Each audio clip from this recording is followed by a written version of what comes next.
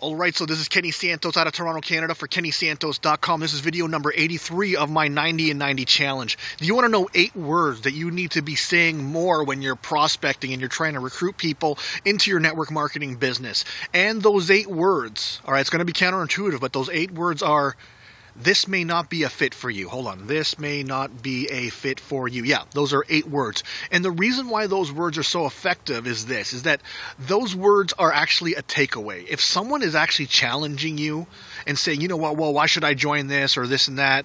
You know what, a lot of network marketers, what they do is they try and step up and they challenge them back and they get very defensive. And that's actually what your prospect is looking for. They're looking for you to get defensive. However, if you just kind of stand your ground and say, you know what, this may not be a good fit for you, um, it'll do two things. One, it'll actually um, make the people that kind of want to join to kind of step up and say and, and try and qualify themselves. And two, it'll push away anyone that you want to be pushed away. If someone, you know what, just doesn't like network marketing, you just tell them it's not a good fit, um, you know what, you're not dancing for them. And you know what? You know, it really ends that conversation. And it's a conversation you don't even want to have anyway. You don't want to be standing toe to toe with someone arguing whether this profession is a real profession or not, simply because that person isn't going to join. You're not going to be changing their opinion.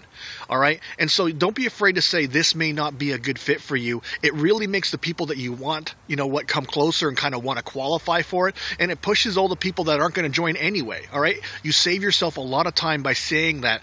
And, uh, you know what? Anytime someone just says, well, I'm not sure if I can do this, you know, you know, pop it out. This may not be a good fit for you. When someone's, you know, when someone says something like, well, I don't know if I could do this, a lot of network marketers say, well, it's easy. All you got to do is follow these four steps or, or something like that. You know what? Really gauge them. If they're trying to brush you off, just tell them it's not a good fit for them. Move on, talk to the next person. But however, if it's a legitimate objection, I wouldn't suggest necessarily saying that. If they really want to join, but you know what, they got to talk to their spouse or they got to think about it or or whatever, they're just not sure if they could do it, um, and you can feel that energy that they do want to do it you know what certainly overcome that objection but you know what otherwise let them go all right more more people that you talk to will not be end up joining this business all right uh, simply because most people they don't want to start their own business. So I trust you got some awesome value out of this. What I invite you to do is to like, subscribe, share, and comment. Also, if you want to see more videos just like this, go over to my blog. It's kennysantos.com. You can put your name and email in and get an awesome audio and growing your business. All right, take care and create a great day.